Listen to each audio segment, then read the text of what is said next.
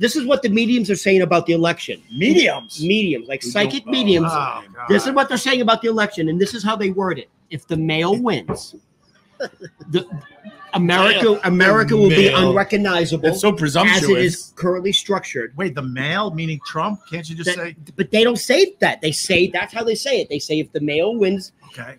America will be unrecognizable as it is currently structured, and We'll he will be be, so responsible. No, this is the scary part, and I believe it.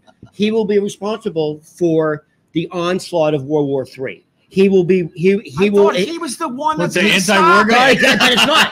And, and by the way, Right. if the female wins, this is You mean Kamala? I know, but they don't say it. They don't say it They like say that. female. Oh, they say female. They don't say I'm- names. Ah, literally, that's how it's, this is a psychic meeting. They don't talk like that. They don't. They're being channeled, and they say if the female wins, Right?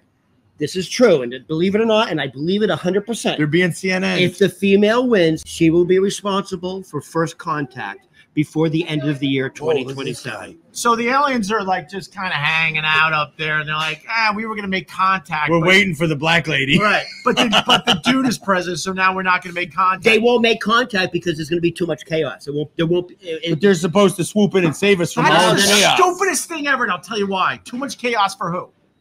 for, For the them. aliens For the to make for aliens. the aliens to make You're like, contact "Ah, with us because they want to they want to help us. You're crazy. You're crazy.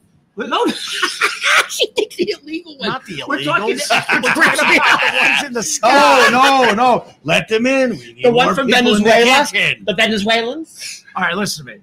The aliens aren't scared of anything on Earth. What it takes to come to Earth from a distant galaxy, they got crap that Does makes us look ridiculous.— galaxy. Oh, maybe it's another dimension. Well, it could Under be that sea. too, but it could also be our own Supposedly There's an alien. Supposedly, supposedly, if you watch TikTok enough, there is an alien base under the ocean. Oh yeah, Yeah, that was formerly well, it was called a